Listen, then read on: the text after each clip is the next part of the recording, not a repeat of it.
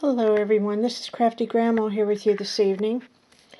Um, today is Thursday and it's the uh, open collab for ATC and MDC cards.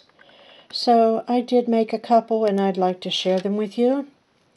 Uh, the first one is my MDC card.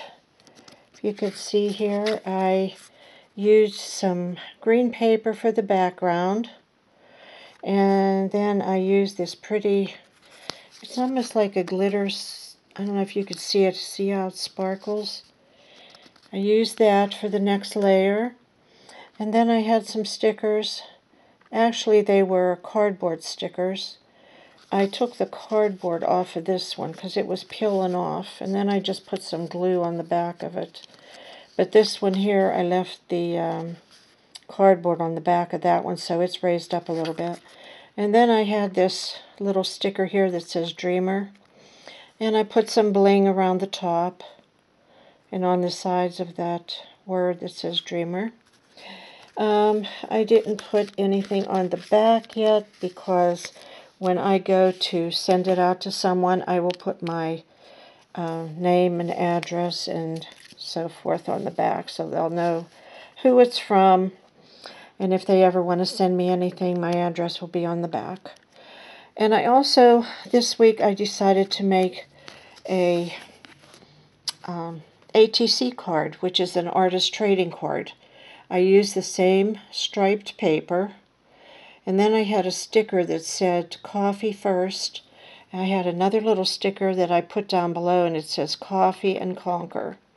And I had a strip of pink bling that I added to the bottom of it. And on the background, I just put, um, on the back of it, I just put pink paper so I could still write on it. And what I used for my memory dex card is this pretty memory dex die that I, I've showed you before. I just love this die. You can make such pretty memory dex cards with it. This is the back layer and then you have the front layer. So you can, if you don't want to use the, you know, make it two layers, you can always just use this one here. So um, that's what I wanted to show you for this evening.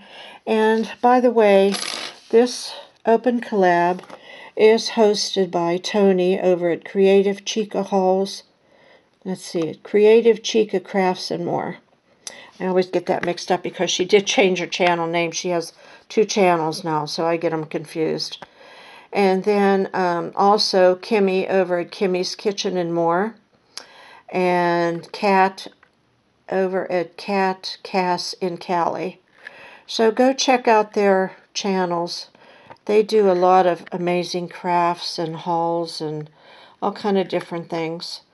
And I'm sure you'll enjoy something on their channel. And if you haven't subscribed to me already, I would appreciate it if you would do so.